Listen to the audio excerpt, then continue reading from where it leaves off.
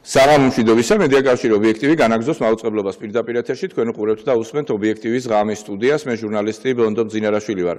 ჩვენი გადაცემის პირველი ნაწილი დაეთმობა ერთ-ერთ უმნიშვნელოვანეს ინსტიტუტს. ეს არის პრეზიდენტის ინსტიტუტი. მაგრამ ჩვენ დავსვავთ ასეთ შეკითხვას. შეზღუდული შესაძლებლობების პრეზიდენტი. ინსტიტუტი სახელმწიფო ინსტიტუტი თუ მარიონეტი მართველი გუნდისთვის ჩვენი გადაცემის სტუმარია ცნობილი პუბლიცისტი ნანა დევდარიანი. საღამოშვიდობისა ქალბატონ ნანა. მიუხედავად იმისა, დიდი მადლობა ასე გვიანღამის სტუდიაში მოგზანებისთვის. მიუხედავად იმისა, რომ ყველა ერთხმათ აღნიშნავს პრეზიდენტის შესაძლებლობები უკვე შეიზღუდა ძალიან მნიშვნელოვნად, მიუხედავად ამისა, პრეზიდენტი პირდაპირ წესით იქნება არჩეული და ყველაზე მაღალი ლეგიტიმაციის მქონე ადამიანი იქნება ქვეყანაში. მიუხედავად იმისა, რომ პოლიტიკური ძალებს აქვს სერიოზული დაპირისპირება პრეზიდენტობის კანდიდატებს ერთმანეთისთვის ათასნაირ ბრალდებას ისვრიან ამ ყველაფრის მიუხედავად ჩვენ ხედავთ ძალიან გააფთრებულ სწრაფას ამ სავარძლისკენ. ადამიანები არ ერიდებიან არც მათ მიმართ ნასროლ ტალახს არც ხვის მიმართ ტალახის როლას არც იმას აქცევენ ყურადღებას, რომ ეს არ არის თქვა არის სახელმწიფოს მეთაური, რა თქმა უნდა, კობახიძეს რო შეუსწოროთ კონსტიტუციონალის კონსტიტუციაში წერია სახელმწიფოს მეთაურია და სამხედრო ძალების უმაღლესი თავარსარდალი, მაგრამ მაინც ერთგვარად მეჯლისის ასე ვთქვათ დედოფალივით იქნება ქვეყანაში, ხო, მეჯლისი სამ სამეჯლისო პრეზიდენტი გვეყოლება. თუმცა ნებისმიერ ქვეყანაში, იგივე ვთქვათ, გერმანიის მაგალითი რომ მოვიყვანოთ, ცილ შესავალს ვაკეთებ, მაგრამ მინდა რომ მაყურებლები და მსმენელები მე აქტიურად ჩაერთონ ამ ჩვენს დიალოგში. გერმანიის პრეზიდენტმა შტაინმეიერმა ფაქტობრივად განმუხტა კრიზისი გერმანიაში, როდესაც კანცლერი, როდესაც ანგელა მერკელი ვერ აყალიბებდა კოალიციურ მთავრობას და რამდენიმე თვიანი კრიზისი სწორედ შტაინმეიერის აქტიურმა მუშაობამ და გონიერმა დიპლომატიამ განმუხტა. თქვენ როგორ უყურებთ ამ პროცესებს? რა რისი მომსწრენი ვართ ჩვენ დღეს? მე მგონი ჯერტი მივესალმები ჩვენს სვენელს და მაყურებელს, მადლობა მოწვევისთვის. მე მგონი ჩვენ განსაკუთრებულს და ესეთ უცნაურს ვერაფერს ვერ ხედავთ, იმიტომ რომ ყველა საპრეზიდენტო არჩევნებში, რაც კი ჩატარებულა 90-იანი წლების დასაწყისიდან დღემდე, იმდენი მსურველი იყო და მათ შორის ესეთი პარადოქსული ფიგურები, რომ რთულია ახლა იმ იმ სიტუაციების შემდეგ რაღაც გაგიკვირდეს. მეორეს მხრივ მე არაერთხელ მithქვამს რომ საქართველოს არის ძალიან უცნაური ქვეყანა. ქუჩაში გამლელები რო გააჩერო და დაუსვა ერთი კითხვა რომ პრეზიდენტი გახდები 10-დან 8 მოგიბრუნებს როდიდანო.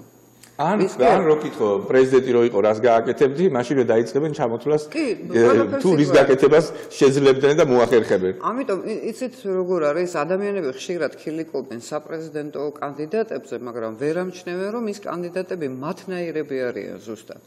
ისევე იქცევიან ისეთივე დამოკიდებულება აქვთ პრობლემების მიმართ როგორც ჩვენი მოსახლეობის დიდ უმრავლესობას ამიტომ მე თავშევიკავებდი ასე ვთქვათ განსაკუთრებული ხილიკისგან მით უფრო ახლა როცა აქტუალური გახდა ქალის პრეზიდენტობა, იყო ქალი პრეზიდენტობის კანდიდატი ნინო ბურჯანაძე, მაგრამ მოხდა ისე, როგორც მოხდა და ამას აქვს თავისი წინაპირობები და მიზეზები. თავისთავად მე ძალიან დადებითად უყურებ, რომ ასეთი პრეზიდენტი არბიტრი იყოს ქალი, მით უმეტეს ესეთი ტრადიციების ქვეყანაში, როგორც არის საქართველო. დიახ.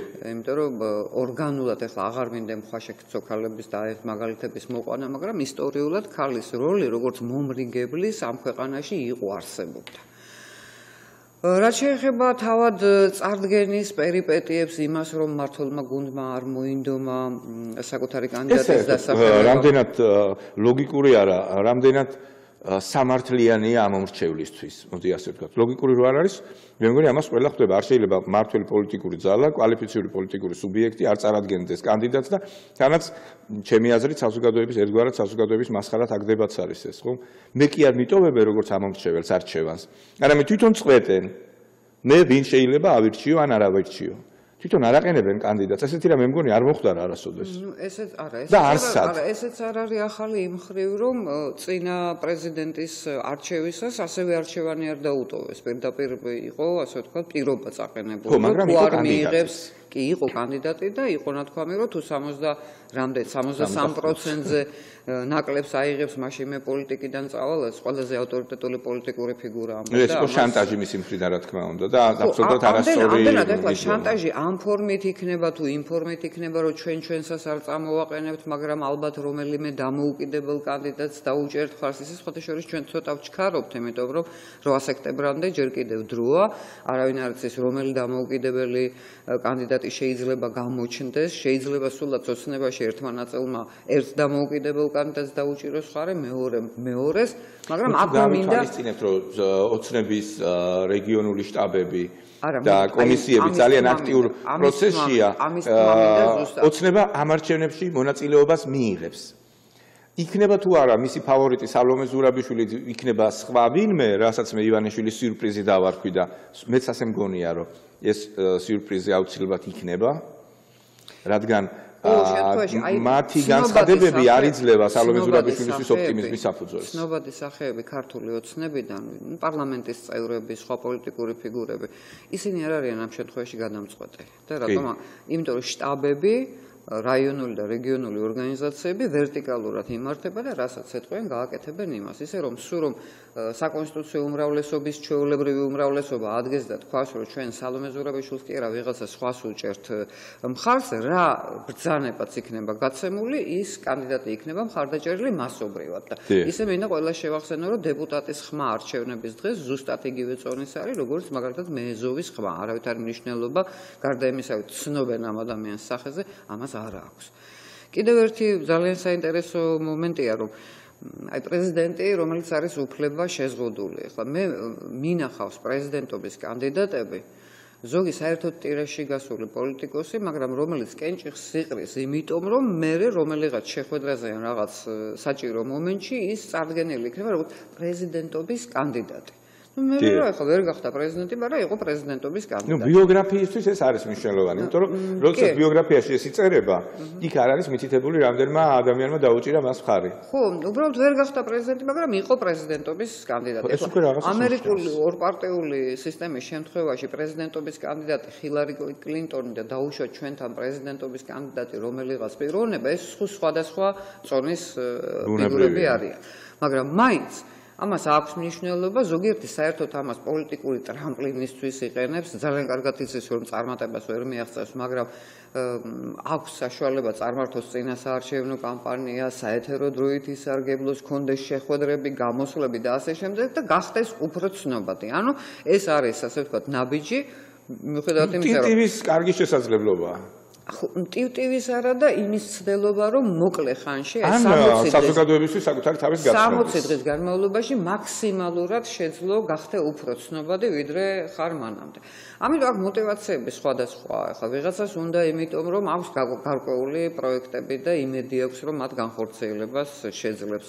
ვიღაცა უკვე თქვი რა მოტივით აკეთებს ამას. ვიღაც მხოლოდ იმიტომ რომ ასე ვთქვათ მოსინჯოს თავი ახალ ამპლუაში სულ არ იყო ამ პოლიტიკურ სივრცეში და დაუშვათ შემოვიდეს ასე. მით უფრო რომ ახლა მოთხოვნა არაპოლიტიკურ ცნობად პოპულარულ აი ნდობის მქონე ადამიანებზე მაღალია. იმის შემდეგ რაც ჩვენ 2012 წლამდე ვნახეთ და 2012 წლის შემდეგ აი ეს მოთხოვნა ძალიან გაძლიერებულია ანუ პოლიტიკური სპექტრით იმედ გაცრუება საკმაოდ საგრძნობია ხო მაგრამ ჩვენ ასევე ვნახეთ ქალბატონანა 2016 წლის საპარლამენტო არჩევნები და წინა პერიოდიც როდესაც პაატა ბურჭულაძის მიმართ საზოგადოების ძალიან დიდი სიყვარული თქვათ ასე როგორც მომღერლის მიმართ კვეთრად შეიცვალა, როგორც კი მან პოლიტიკური განცხადებების გაკეთება დაიწყო. ისევე როგორც თქვათ, სხვა შემთხვევებშიც ყოფილა ასე. მე მე არ ვამბობ იმას, რა ბუნებრივია, რომ სხვა სფეროს წარმომადგენლებს, ახლა ჟურნალისტებს გვაქვს მარტო უფლება და სხვა სფეროს წარმომადგენლებს არ აქვს უფლება, რომ პოლიტიკაზე ილაპარაკონ, ან გახდნენ პოლიტიკოსები. მსახიობები იქნებიან, სპორტსმენები თუ ასე შემდეგ. არასწორად მიმაჩნია ასეთი დიფერენციაცია ადამიანების, მაგრამ ჩვენ დავინახეთ პატა ბურჭულაძის მიმართ საზოგადოების დამოკიდებულება. როდესაც სულაც არ იყო მისთვის ასე ვთქვათ ხელსაყრელი და სასარგებლო ის პროცესები, მაგრამ ის მაინც წავიდა პროცესებში ბოლომდე. აი ძალიან საინტერესო მომენტია. ჯერდი მე არავის არ ურჩევ და უშუალოდ მიუთითოს პაატა ბურჭულაძეზე რაღაცა მომისმენია ხშირად. მათ შორის მისი აი ორი დღის წინ რო თანამებრძოლები იყვენ და მე საშინელი ტექსტები. საერთოდ პოლიტიკაში ასეთი ადამიანები ვისაც შეუძლია აი გუშინ ვისთანაც იდგა იმ ადამიანს თავზე გადააფხრიწოს ყველაფერი და ლაფში აგორაოს ეს არ არის სანდო პოლიტიკური პარტნიორი ეს არასერიოზულია არასერიოზულია არასწორია ადამიანურათაც პოლიტიკურათაც და ყველა თვალსაზრისით. მაგრამ ნუ პატა ბურჭულაძე პრინციპში უნდა ყოფილიყო გაწაფული ისეთ რაღაცაში რასაც ქვია თეატრალური ინტრიგები და პოლიტიკის პოლიტიკის შიდა ინტრიგები ძალიან გავშინა არსით თეატრის თეატრის კულისების ინტრიგებს, იმიტომ რომ პოლიტიკაშიც ბრძოლა არის მთავარი როლისთვის. ვინ ვის ჩამოიშორებს, ვინ ვი უკეთეს მდგომარეობაში უკეთეს პარტიაში ასრულებს. პრინციპში ეს მისთვის უნდა ყოფილიყო ცნობილი, მაგრამ როგორც ჩანს, მან ვერ გათვალა, რომ აი ეს თამაშის წესები შეიძლება იყოს ამ სერიოზულ საქმეში, რასაც ქვია პოლიტიკა. პლუს ამას დაემატა კიდევ ის რომ პატა დიდი ხანია წასული აქედან და მან არ იცის ის პოლიტიკური მორევი რომელიც აქ იხარშება კი და აი ამ მორევში ჩავარდა შეცდომა რომელსაც უშვებენ ადამიანები ხო არ მან უბრალოდ არ იცოდა ეს ამ მორევის შინაარსი შიგნით რა ხდება ეხლა ჩვენ ვინც თვალმოუწყვეტლი უყურებთ ამ ყველაფერს და ძალიან კარგად ვიცით რომ ქართული ოცნების დიდი ნაწილი ზოგი ადრეა წამოსული სააკაშვილისგან და ზოგი უფრო გვიან და მე შეგდეთ მიდის კამათი ვინ უფრო ადრე მიხვდა და ვინ უფრო გვიან გაიგო და ვინ როდის გადადგა ეს ნაბიჯი. აი ეს პერიპეტიები არ შეიძლება იცოდეს პაატა ბურჭულაძემ რომელიც დაკავებულია ძალიან სერიოზული საქმით ყოველდღიური ასე ვთქვათ სამუშაო პროცესია გაწერილი გასტროლები აქვს და ასე შემდეგ მაგრამ მას გვერდით უნდა ყოველდღე მრჩევლები ვინც ამას ყველაფერს მას ყავდა მრჩევლები გვერდით, თუმცა ის მრჩევლები თვითონ აღმოჩნდნენ სარჩევები, ასე ვთქვათ. ხო, მე მიუხედავად რჩევებისა, ჩვენი რჩევებიც არ გაითვალისწინა ზოგიერთმა მათგან. მათ შეეძლოთ სწორი რჩევების მიცემა, რა თქმა უნდა. ეს არის ახლა მოინდომებდნენ. ჩვენთან ხო წყალგამყოფი გადიოდა სააკაშვილის მიმართ როგორ ხარ? და პატაბურჭულაძე არაპატიეს ის რომ ის ნორმალურ ურთიერთობაში იყო სააკაშვილთან. მე ეს პირადად არ მიკროს, იმიტომ რომ ქვეყნის გარეთ ცხოვრობს ადამიანი, ეს არის მისი ქვეყნის პრეზიდენტი, სადაც არ უნდა შეხვდეს ახლა აბა უდიერად ვერ მოექცეოდა და ცოტა ვერ ეთქვა გასაგები მაგრამ ჩვენს სინამდვილეში აქ რაც ხდებოდა იმ წლების განმავლობაში და რასაც მადლობა ღმერთს პატა ბურჭულაძე არ შესწრებია და მის კისერზე არ გადაულია ამ ყველაფერს ჩვენი საზოგადოებისთვის ეს ეს ამოშთა სრულად მიუღებელი. იცით რა არის? იმიტომ ხომ არ აღმოჩნდა მიუღებელი ქალბატონიანა, რომ მაშინ, როდესაც საზოგადოება ძალიან ბევრ ამას აპროტესტებდა სააკაშვილის ხელისუფლების დანაშაულებს. მაშინ ამის თაობაზე არაინფორმირებულობის ან სხვა რაღაცის გამო არაფერს ამბობდა პაატა ბურჭულაძე. ეხლა ეს გადაცემა პაატა ბურჭულაძეს კი არ ეძუნება. პოლიტიკოსები საზოგადოებიდან, ასე ვთქვათ, დიდ პოლიტიკაში მოსულ ადამიანებს ადამიანებს საუბრობენ. ხო, ერთი ინგლისკენ, ერთი შეიძლება შეიძლება რომ ვთქვათ ასე, რომ ახლა ადამიანი რაღაცა ამ ქვეყანასა რაღაც კომუნიკაცია აქვს, ფონდიც ქონდა, ან შეიძლება ვიღაც სხვა არის, საერთოდ არც ფონდი აქვს, არც არაფერი აქვს, უბრალოდ ვთქვათ, იგივე ლეო ბოკერია. ხო, არაჩვეულებრივი ადამიანი, ძალიან ცნობილი, ძალიან წარმატებული და ასე შემდეგ და თერმ სოფლიოში აღიარებული ექიმია, ხო? უცბად მაგრამ მოინდომოს პოლიტიკაში მოსვლა. ბუნებრივია მასაც დაუსვათ ჩვენ შეკითხვას რომ თქვენ ამა და ამ დროს ამა და ამ დროს ამა და ამ დროს ბატონო ლეო არ იყავით ინფორმირებული რომ ამ უბედურებებს ჩადიოდა ეს ადამიანი და თუ იყავით რატო არ ამბობდით? თუ არ იყავით რატო არ იყავით? ბუნებრივია ლოგიკური შეკითხვა რა დღეში ჩააგდეს პატა ბურჭულაძე იმიტომ რომ წითელ მოედანზე ერთ-ერთ კონცერტში მიიღო მონაწილეობა. ეს სააკაშვილის ხელისუფლებამ და სააკაშვილის მედიამ ჩაიდინა ხო? დიახ ამ შემთხვევაშიც პატაბურჭულას არ გამოუთქოს პრეტენზიები. იცი როგორ არის? მომღერალი მაგალითად ან ექიმი. მომღერალი ვერ იქნება რომელიღაცა პარტიის მომღერალი. ექიმი არ ეკითხება პოლიტიკურ შეხედულებებს პაციენტის მასთან მიდის ეს არის მათი პროფესიული აი გამჯდარი ჩვევა. ისინი მოდიან ამ თავისი ბექგრაუნდით მაგრამ როგორც კი ზღურბულს აბიჯებენ იქ დგება უკვე აუცილებლობა იმისა რომ გეკითხებიან შენ დღეს გაგიჩნდა პოზიცია გუშინ სად იყავი გუშინ წეს სად იყავი რა. და კიდევ ერთი ხა მე ვცდილობ რომ ობიექტურობა დავიცვა. ჩვენ ცოტა სხვანაირად მეუდგეთ იმ ადამიანებს ჩვენ მოქალაქეებს რომლებიც წლების განმავლობაში ცხოვრობენ სხვა სახელმწიფოებში. მათი დამოკიდებულება ამ ქვეყნის ხელისუფლების მიმართ ყოველთვის იქნება უფრო ლოიალური ვიდრე აქ ცხოვრები ადამიანების იმიტომ რომ ისინი ერთგვარად სამშობლოდან მოწყვეტილად გრძნობენ თავს ამიტომ მე ახლა ისე ისე დავტრიალდით ამ თემაში, რომ მოვედით სალომე ზურაბიშვილმა თქვა, რომ მე მინდა რომ ჩემნაირი იყოს საქართველო, ანუ იგულისხმარო ევროპელი. ახლა ამორჩეულს კითხოს უნდათ სალომესნაირ საქართველოში ცხოვრება, ანუ ვიღაცას შეიძლება უნდა, ვიღაცას კატეგორიულად არ უნდა.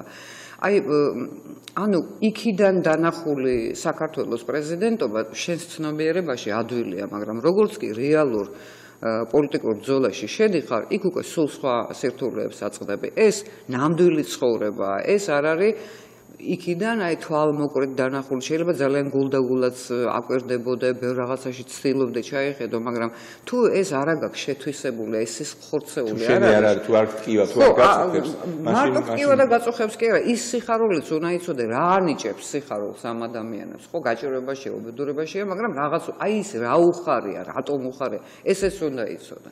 ქალბატონანა, ჩვენ ხუთ წუთში დავბრუნდებით პირდაპირ ეთერში, ახლა სარეკლამო ტიხარი გვექნება. და სხვათა შორის სარეკლამო ტიხარის გვიკარნახებს კიდეც ჩვენი გადაცემის მეორე ნაწილის, ასე ვთქვათ, თემატიკას. ნანა დევდარიანი, ცნობილი პუბლიცისტი სტუმრობს ობიექტივის ღამის სტუდიას. ობას ცნობილი პუბლიცისტი ნანა დევდარიანი სტუმრობს ობიექტივის ღამის სტუდიას. ქალბატონ ნანა, მივედით იმ თემამდე, რომელიც აუცი რომელზეც აუცილებლად უნდა გავამახვილოთ ყურადღება. ეს არის სადიყავი, სადიყავი მაშინ.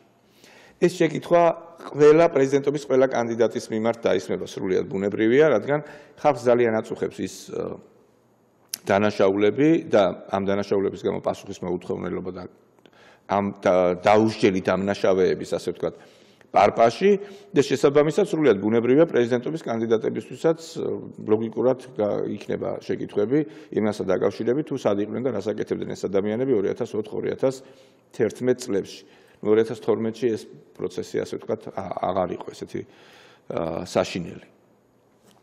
ყველა კანდიდატი ბაქრაძეზე საერთოდ არაფერს არაფერიც რომ არ ვთქვათ. იგივე ვთქვათ ვაშაძე იყო ორჯერ სააგაშვილის მინისტრი, კულტურის მინისტრი და საგარეო საქმეთა მინისტრი, სალომე ზურაბიშვილიც იყო სააგაშვილის მთავრობის საგარეო საქმეთა მინისტრი და აა ნუ ბაქრაძე საგარეო საქმეთა მინისტრი, კიდე რაღაცის მინისტრი იყო და კიდე იყო პარლამენტის თავმჯდომარე, ხო? აი ასეთ პირობებში ჩვენ რა არჩევანი გვაქვს? არა გვაქვს არჩევანი, ეს იმას ნიშნავს. ერთი პერიოდი მუდმივად იყო საუბარი იმაზე, რომ აი შევარდნაძის სკოლა გამოვლილი ხალხი იყო ყველგან, მოქალაქეთა კავშირი, ასე ეძახდნენ. ნუ აღმოჩნდა, რომ ეს ალხანა ჯობდა იმ ჩალხანას და ამიტომ იყო ეს ყველაფერი. ახლაც ამ მდგომარეობაში ვართ, როცა ალხანასა და ჩალხანას შორის ასარჩევი გვაქვს. იცით ადრეც მithkoms ახლაც გავიმეორებ რომ საქართველოში 90-იანი წლებიდან მართველი პარტიის წიაღიდან იჩეკებოდა ყოველთვის ოპოზიცია.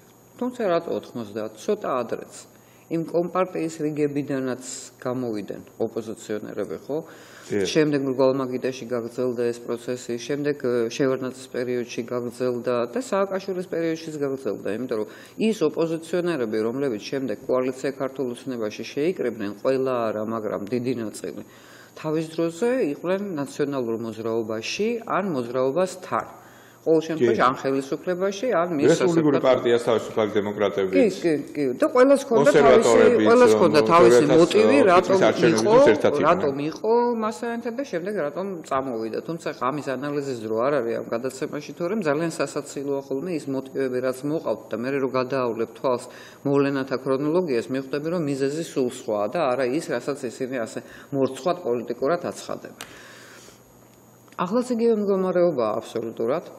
უბრალოდ ამდენმა არჩევნებმა იმდენ ჯერ მოუტანა ამორჩეულს იმედგაცრუება რომ დღეს ეხა თან კიდევ ხშირ-ხშირი გამეორება რომ ეს შეზღუდული უფლების უფლებების პრეზიდენტი იქნება მაინც არაფერი არ ეკითხება და რა კიდევ უფრო აღმავებს ნიჰილიზმს მე არ ვიცი ხე შეიძლება გამოჩნდეს ესეთი კანდიდატი რომელიც ნდობას დაიმსახურებს ყოველ შემთხვევაში აი ამ კანდიდატურებს რო გადახედავ მათთან შედარებით გაცილებით მეტი ნდობა ექნება. შეიძლება ასე თქვა ასეთი რომ თუ არც 90-იან წლებში იყავი თუ არც 2012 წლებში იყავი თუ არც ბოლო 6 წლის განმავლობაში იყავი საერთოდ ვინ ახარ და სად იყავი.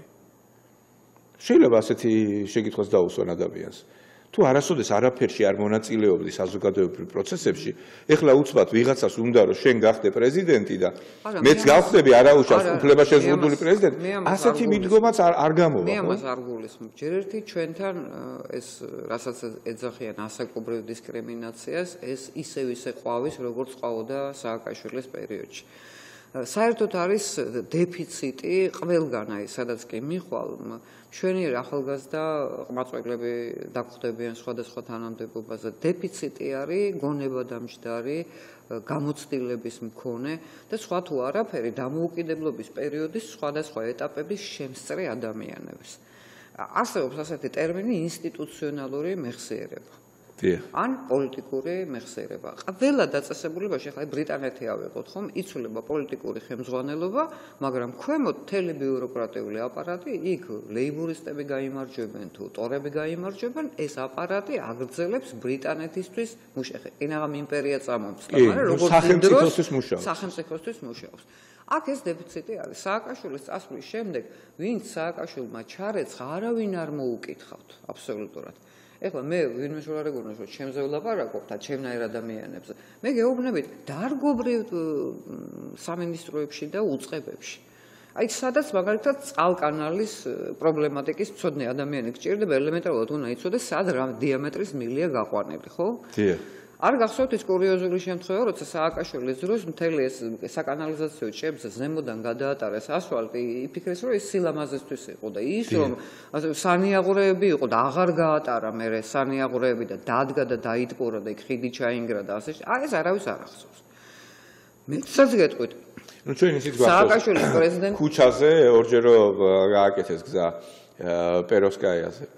კი ახლოდიანის ქუჩაზე გააკეთეს ქვაფენილი მე ისევ გააკეთეს ასფალტი. იმიტომ რომ აღმოჩნდა რომ იქ თურმე ქვაფენილი არ არის მიზან შეწონილი მაგრამ ნუ რაღაც პერიოდი ვიღაცის უგაცრავად ახირების გამო ეს გააკეთეს. შეხედავს ესე მოეწონება და ესე უნდა რომ გააკეთოს. ამის უკან დგას მთელი ასე თქვა გათვლები მეცნიერული მიდგომები და ასე შემდეგ. იგივე აიღეთ არ დამავიწყდება პარლამენტის ეს სხდომა თუ არ ვწდები 2000 ხუთი წლის ბიუჯეტს ამტკიცებდნენ და ერთ-ერთი ნორჩი დეპუტატი ადგა და თქვა რომ რატო აძლევთ ამდენ დაფინანსებას ჰიდრომედცენტრს?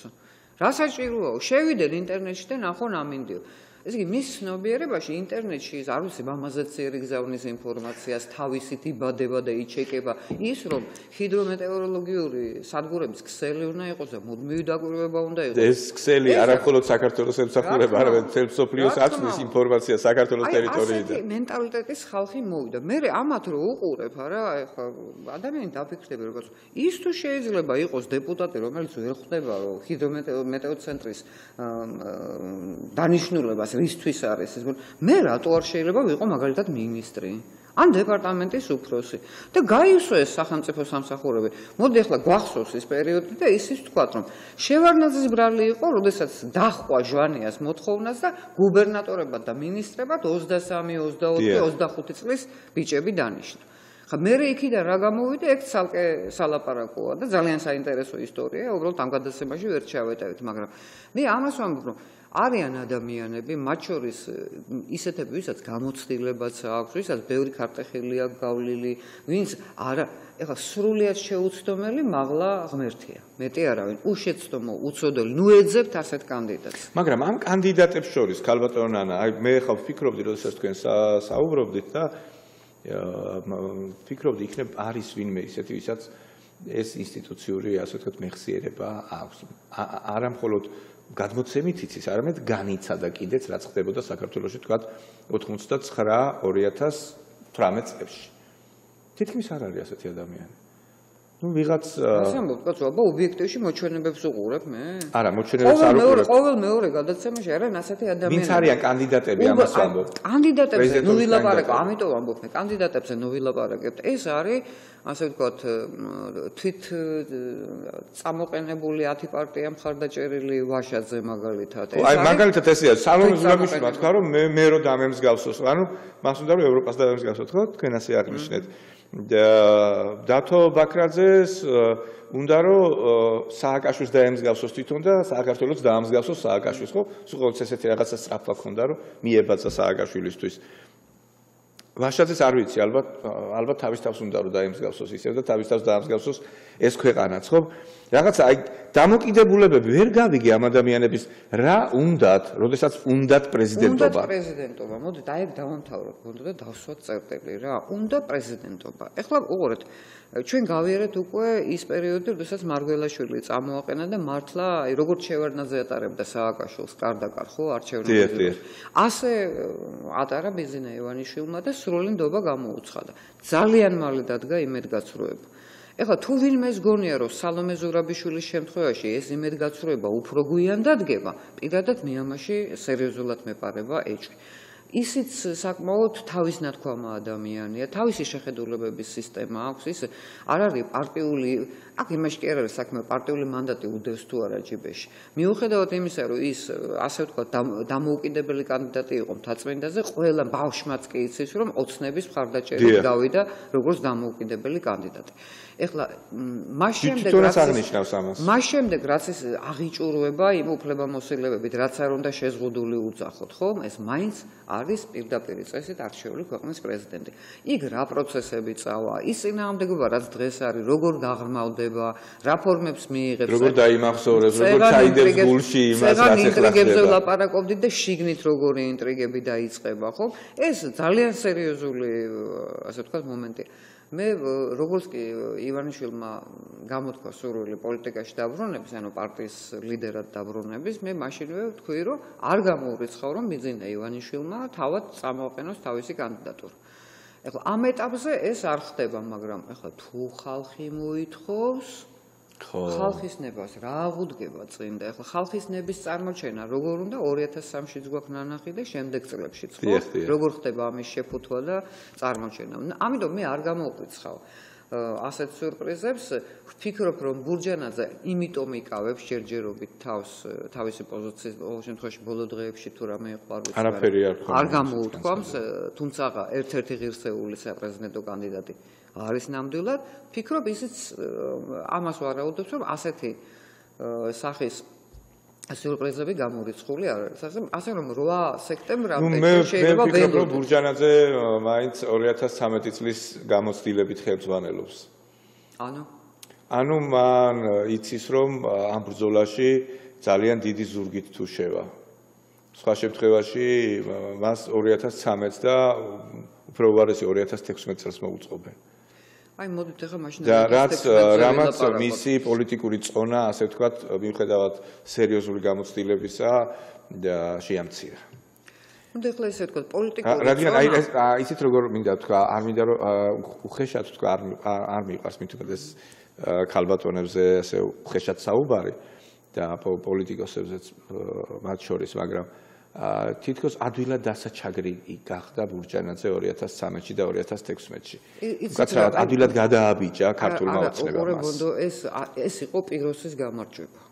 პიროსის გამარჯვება იყო, იმიტომ რომ აი ამ ნაბიჯმა როგორც მოიქცა ქართული ოცნება 2016 წელს, ბურჯანაძე კი არ დააზარალა და ირმა ინაშვილი კი არ დააზარალა, თავისი იმიჯი დააზარალა, რის გამოც დღეს იძულებულია იძახოს, რომ ჩვენ არ გვინდა საკონსტიტუციო უმრავლესობა ისედაც გვაქვს და ხა მოდი დემოკრატიისთვის ასე ჯობი. აი იძულებული გახდნენ ესე თქვა, იმის გამო რაც ჩაიდინეს 2016 წელს, აშკარად რო ვერ მოზომეს და ასე შემდეგ. ეხლა წონას რაც შეეხება. დაახლოებით ისე დაემართათ ვერც ვერაფერი გააკეთეს და დაახლოებით ისე დაემართა დიდი ხნის ნაშიმშილარი ადამიანი ძალიან ბევრ ცხიმიანს რომ მიიღებს. ხო, ძალიან სულად თავდება. შეიძლება სერიოზული პრობლემები შეექმნას. ისე რომ წონა, წონა კიდევ ძალიან ფარდობითი კატეგორიაა, იმიტომ რომ გააჩნია რომელს წონის კატეგორიაში გამოდიხარ. დღევანდელი კანდიდატებიდან არც ერთი არ არის ბურჯანაძის წონითი კატეგორია. ამიტომ ვერ შევადარებთ მათ წონით. ვერც ხარდაჭერით, ვერც ბექგრაუნდით, ვერც ასე ვთქვათ მართლა წმინდა პოლიტიკური გამოცდილებით, იმიტომ რომ კი იყო ბაქრაძეც იყო პარლამენტის თავმჯდომარე, მაგრამ მაგრამ მისი პოლიტიკური გამოცდილება ყოველ დღე ჩანს ეკრანზე, რაც არის სინამდვილეში, ხო? ნუ ბაქრაძე ყოველთვის მარიონეტი იყო, ბურჟანს ყოველთვის ცდილობდა რომ შეინარჩუნებინა საკუთარი ასე ვთქვათ სახე. კი და თუმცა ხშირ შემთხვევაში უჭირდა ამის გაკეთება. უჭირდა, მაგრამ პრაქტიკულად ეს გახდა. იცოდა რა რეჟიმიც იყო, იცოდა ვისთანაც ჰქონდა საქმე. აი ეს გახდა ერთ-ერთი მიზეზი მისი ხელისუფლებიდან წამოსვლისა, თორე ჩვეულებრივად იქნებოდა ეს. ნუ ყველა ადამიანს აქვს რაღაცა ბოლოწვეთი რა, მოთმინების ბოლოწვეთი და თქვენ ვარ აუდობთ რომ შეიძლება ბურჯანაძე წამოაყენოს მაინც კანდიდატურა. თუ მე როგორც მე როგორც ამ ქვეყნის მოქალაქე აი ამ კანდიდატებს რო გადავხედა და ვფიქრობ აი ქვეყანას რა თვალით უყურებენ მაგალითად ჩვენი უცხოელი მეგობრები ხო, იგივე ევროპელები, ამერიკელები, მართალია იქაც ყავთ პოლიტიკური კლოუნები, მაგრამ ეხლა საფრანგეთს შეუულია ეს აიტანოს და კიდე ზოგიერთ სხვა ქვეყანას, იმიტომ რომ დიდი წარსული აქვს და იმპერიული და ბრიტანეთის შოუს, რომელზეც თქვენ ლაბორატორიით. აი, აქ ჩემი სურვილი იქნებოდა, რომ წამოეყენებინა, რომ რაღაცა შეხედო და ნახო, რომ მარტო აი ესენი კი არ არიან, არის, აი, მაგერ გულჯანადაც არის. ეხლა წმინდა ეს ჩემი სურვილია როგორც მოქალაქის, მაგრამ ის როგორც პოლიტიკოსი წმინდა პრაგმატულად მიუდგება, რა თქმა უნდა, ამ საკითხს და გადაწყვეტს ისე როგორც სიტუაცია და კონტექსტი უკარნახებს. ყოველ შემთხვევაში, თუ ჩვენ აი ამ გუნდით მივდივართ საპრეზიდენტო არჩევნებზე, საერთოდ ხო არ დავფიქრდეთ, რომ შეზღუდული კი არა და საერთოდ გავაუქმოთ პრეზიდენტის ინსტიტუტი. ახლა აი ეს არაპირდაპირი წესით არჩეული პრეზიდენტი, რომელიც შემდეგ გვეყოლება, ხო ჩვენ? ეს საფრთხება მოდ გავიხსენოთ რა იგივე გერმანია არის ფედერალური მოწყობის ქვეყანა. იქ სრულად ლოგიკურია რომ პარლამენტი რომელიც არჩეულია მთელი ქვეყნიდან ირჩევს მერე ამ პრეზიდენტს და მისი უფლებამოსილებით შეზღუდულია იმიტომ რომ სუბიექტების რეგიონების მიწების უფლებებია ფართო. ძალიან უფლებამოსილებებია. თუ ჩვენ მივდივართ ფედერაციული მოწყობისკენ გათვალისწინებით აფხაზეთისა და სამხრეთ ოსეთის მაშინ ამ მიმართულებითაც დასაწყებია მუშაობა. სააკაშვილმა რა დააშავა ყველაზე დიდი, როცა აჭარის ავტონომია შეზღუდა მინიმუმამდე დაიყვანა.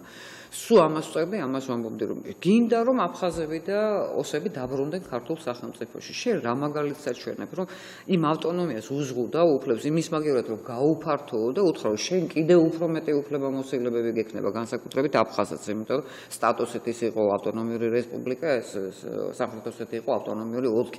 ამაზე ვიღაცამ ხო უნდა იფიქროს, მარტო ჟურნალისტების ტვენის განზრევისკენ ხო არ უნდა მოუწოდოს, თუმცა ხშირად მეც მეფიქრია ესე რომ ზოგმა ჟურნალისტმა ტვენი რო გაანზრევს, კარგი იქნება თუ აქვს საერთოდ. ცოტა, ცოტა თუ თრიარად. ეგ არის რამდენიცაა? ცოტა ტვენი გაანზრიოთ, სალოეზულაბიშვილის ამ ნათქვამა სწორედ ეგ გამახსენა რომ დანარჩენს რა უყოთ, ცოტა რო გავანზრიოთ. მობილურით ვიკავშირდება მაყურებელი მოусვინოთ მას და შემდგომ განვაგრძოთ საუბარი. სასწრაფად ამოიწურა დრო დიახ გისმენთ ალო დიახ უღრმესი მადლობა ტყვიანი ქალბატონის მოწოდისთვის ეს ერთი. მეორე პროფოკარი რეზომაშკელი რო შემოკათ და მესამე ბურჯანაძემ წამოაყენოს თავისი კანდიდატურა. უღრმესი მადლობა. ქალბატონო ნანას გამრავლდეს საქართველოსი თქვენისთანა ქალბატონები ტყვიანი მადლობა მადლობა მეორე ვერ გავიგე მაგრამ ნუ პირადად მე დამოცა. ეგ ეგ ვიცი პირველი და მეორე და მესამე გავიგე მეორე ვერ გავიგე არა უშავს დიდი მადლობა ჩვენს მაყურებელს და მსმენელს. ქალბატონანა ამ არჩევნებით უკვე გამოჩნდება თუ არა რომ თუ კი პარლამენტმა ძალიან არეაქტიურა და მხარი არ დაუჭირა რეზოლუციას სააკაშვილი ბოკერიას რეჟიმის და შეფასებასთან პოლიტიკური და სამართლებრივი შეფასებასთან დაკავშირებით რომ ამ არჩევნების შემდგომ უკვე მათი ლეგიტიმაციის ახლა გაყოფილები არიან და როგორც არიან ისე ისე მოვიხსენიოთ ნაცმოძრაობა და ევროპული საქართველოს ხო ბოკერვილები. აი ამათი ლეგიტიმაცია უკვე გაიზრდება და უკვე მომავალში აღარც კი დადგება ამ რეჟიმის იმ რეჟიმის შემქმნელების დასჯის საკითხი. რაღაც ძალიან დიდხანს დრო ხომ არ გადაიტანს და გადაიტანს კიდევ უფრო შორს ამ თემას და შესაბამისად შემდგომ უკვე აღარ დადგება ეს საკითხი. მე ვფიქრობ, რომ დღესაც უკვე ვადა გაშვებულია. იმიტომ რომ ნაციონალური მოძრაობის დამნაშავე ნაწილი, მოდი ყოველას ნუ შევახებთ ამას, იმიტომ რომ იყვნენ იდეოლოგიური იდეური მომხრეები, მაგრამ მათ არ ჩაუდენიათ დამნაშავე. პოზიციები არ ქონიათ სახელმწიფო თანამდებობაზე. რა ვიცი, შეიძლება როგორღაც იმასაც ჩაედინათ, მაგრამ გავყოთ ესენი, ხო? ამიტომ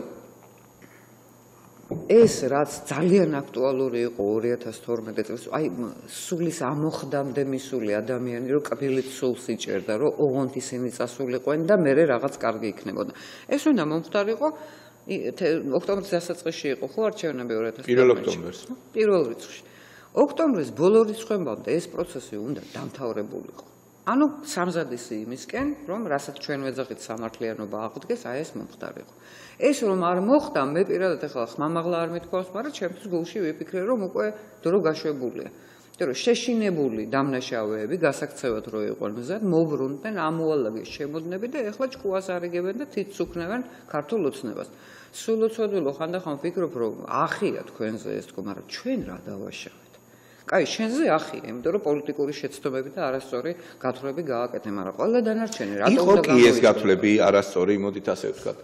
ძალიან საინტერესო როდესაც ამ თემებზე ვსაუბრობთ, მე მაგალითად დავსვი ასეთი შეკითხვა და პასუხი ვერ მივიღე ბოკერიას გუნდის წევრებისგან. რატომ შეწყვიტა კანდელაკმა უცხოეთში ელექტრონული პოსტით საჩივრების გაგზავნა? რატომ შემცირდა ანთითქმის გაქრა დასავლელი პოლიტიკოსების მხრიდან ივანიშვილის და ქართული ოცნების კრიტიკა? რამ გამოიწვია ეს? რა მოხდა 2017 წელს და 2018 წელს ისეთი, უფრო სწორედ 2016-ის დამლევს და 2017-ის დასაწყისში ისეთი, რამაც უცბად ჯერ შეამცირა და შემდგომ საერთოდ გააქრო დასავლეთის შტურმი, ასე ვთქვათ, მედია შტურმი და პოლიტიკოსების შტურმი ქართული ოცნების მიმართ. ხომ არ არის ეს გარიგება და საგარეო ფრონტზე უპირატესობის ასე ვთქვათ მოპოვება არ ჯობინეს ქართული ხალხის აზრის გათვალისწინებას. სხვა რა ქვია ხოლმე? არაფერი სხვა არ ქვია. თუმცა მე შეგახსენებთ ახლა მე ბიზინა ივანიშვილის ყოველი კარგი ნაბიჯის ქვეყნის სასიკეთო და ასეთი უამრავი ყოფილა ყველაფერზე ყოველთვის მithქვამს და ხაზი გამიგებს. მაგრამ თვალნათელი ერთი რამ რომ მისთვის რაღაც მომენტში სრულად მიუღებელი გახდა მიხეილ სააკაშვილი და არა დანარჩენები ვინც იყვნენ იმ სისტემის შემოქმედები როგორც მენეჯერი? მე ხლა არ ვიცი ტოპ მენეჯერი იყო ის ქვეყნის თუ მე მგონია რომ ქვეყნის პრეზიდენტი იყო თუმცა არ ვისურვებდი რომ ქვეყანას ასეთი პრეზიდენტი ყავდეს მაგრამ იყო თითქმის 10 წლის განმავლობაში. და როცა ადამიანი ამბობს, რომ მერაბიშვილი კარგი მენეჯერი იქნებოდა, ადეიშვილი მისი ხელმძღვანელობით კარგი მენეჯერი იქნებოდა და სხვაები, მათ შორის ბოკერიას და სხვაები. ნუ უკვე ჩნდება იმის შეგრძნება, რომ პირადად სააკაშვილი გახდა მისთვის მიუღებელი ამა თუ იმ მიზეზების გამო. ალბათ ძალიან წონადი მიზეზები იყო ეს, ფიქრობ. ეხლა წარმოიდგინეთ, თუ ეს ადამიანები არიან კარგი მენეჯერები, მაშინ რატომ უნდა დასაჯო ისინი? აქ ერთადერთი კითხვა იბადება, რომ თუ ამბობ, რომ ჩემი ხელმძღვანელობით კარგი მენეჯერები იქნებოდნენ, მაშინ სადმე ხარ? ხო, დარჩი მენეჯერად და აჩვენე ქვეყანას, რომ ესენი უცებ-ფრთიანი ანგელოზები გახდნენ. შენი ხელმძღვანელობით. ეს ასე არ მოხდა. მან ასე არჩია პრემიერ-მინისტრის პოსტიდან წასვლა. იქ ეს გარიგებები, რომ მოდი შენ საჩივრებს ნუ გააგზავნი ევროპაში და მე თქვენ პარტიას იქ მივცემ საშუალებას, რომ მაგალითად საჩხერეში ძალიან ბევრი ხმა მიიღოს ივანიშვილის რაიონში. ხო, ეს გასაოცარი იყო ივანიშვილის რაიონში. ივანიშვილის რაიონში რო ამარჯვებ. და ასე შენ. ხდება ასეთი გარიგებები, გვინახავს, ბევრი გვინახავს და არც ერთი კარგით არაფრით არასოდეს არ დამთავრებულა რა. იმიტომ რომ ეს იმ კატეგორიის ხალხია თუ ცოტა გაიხსენებ მათ ხელისუფლებაში მოსვლამდე პერიოდს, რაც არ უნდა მეტი დაუთმო, უფრო მეტს მოგთხოვენ. დიახ, დიახ. ხო, თითქოს ჩაუდებ პირში. იდა ყამდე მოგაჭამენ, თავი თუ არ წაგაჭამეს კიდე. ეს შეიძლება არ იცის ბიზინა ივანიშვილმა, იმიტომ რომ არ იყო ის პოლიტიკურ ორთაბრძოლებში ჩართული, თავისი საქმე ჰქონდა, რაღაცას ქვეყანას ეხმარებოდა, უამრავ ადამიანს დახმარებას უწევდა, იქ ეკლესიები, მონასტრები, სხვა კულტურული ძეგლები უამრავია გადარჩენილი. არა იმედი, მაგრამ ძალიან კარგად იცის საკუთარ თავის გადარჩენას. ისეთი ნიანგების პირობებში, როგორიც იყო 90-იან წლებში. ასე რომ შეიძლება ვიღაცას პირში თითი ჩაუდოს და იმ ვიღაცას ეგონოს თითი და კლავამდე მოჭრა მოუნდომოს და ეს არ აღმოჩნდეს არც კლავი და არც თითი. არ მინდა ეხლა ცინიკოსად გამოჩნდე, მაგრამ არ არის ბიზინა ივანიშვილი ისეთი მიამეტი თავისი თითი ჩაუდოს რომელიც ხო და მაგრამ ზუსტად ის არის შეიძლება თითი კი თითიც არ აღმოჩნდეს. ისინი შეიძლება შეიჭამონ და ბევრი შეიჭამა ამ წლების განმავლობაში, ზოგი სამართლიანად და ზოგი უსამართლოდ, ხო? ეს პროცესია კარგი არ არის რაც ხდება. რეზოლუციებით არ უნდა გჭირდებოდეს ჩვენ ამის მოთხოვნა სახელმწიფო იმიტომ უნდა მუშაობდეს და იმიტომ ყავს სამართალ დამცავები და იმიტომ არის სასამართლო და ყველა ეს სახელმწიფო მაგრამ სისტემის შეფასება რეჟიმის შეფასება არის თუ არა საჭირო საბატონო რეჟიმის შეფასება რო საჭიროა ამას რამდენი წელი მოითხოვდნენ კატეგორიულად ზედ გამსახურდეს მომხრეები. და საბოლოოდ იძულებული გახდა ჟვანია რომ ეს შეფასების დოკუმენტი რეზოლუცია მიიღო. ქაშვეთში რომ გაკეთდა ქაშვეთში გაკეთდა ეს მაშინ ვახტანგ ბოჭორიშვილი ქაშვეთში გამოაცხადეს უბრალოდ ვახტანგ ბოჭორიშვილი იყო ერთ-ერთი ცენტრალური ფიგურა რომელმაც აქაც აქვს მნიშვნელობა ვინ აიღებს ამას თავის თავზე ხო და რა ფორმას მისცემს და როგორ. ამიტომ შეფასება უნდა მოხდეს. აუცილებელია ამის გაკეთება და პირველ რიგში ეს შეფასება ან არასათანადო შეფასება იქნება ქართული ოცნების შეფასებაც მათ შორის. რას დაუჭერენ ისინი მხარს? დიდი მადლობა ქალბატონო ნანა სტუდიაში მობრძანებისთვის. ყოველთვის საინტერესოა თქვენ სტუმრობა თქვენთან საუბარი. რაღაც გარკვეულ მაყურებლებსაც აქვთ ასეთი დამოკიდებულება, რომ რაღაც პერიოდულობით თუ და შევთავაზოთ თქვენთან საუბრები. ჩემი აზრით ძალიან საინტერესო იქნება ჩვენი მაყურებლების და მსმენელებისთვის. ცნობილი პუბლიცისტი ქალბატონი ნანა დევდარიანი სტუმრობდა ობიექტივის ღამის სტუდიას. მე ჟურნალისტი ბონდობ წინარაშვილი ვარ. ქალბატონ ნანას დავემშვიდობები და რამდენიმე წუთში დაგიბრუნდებით პირდაპირ ეთერში.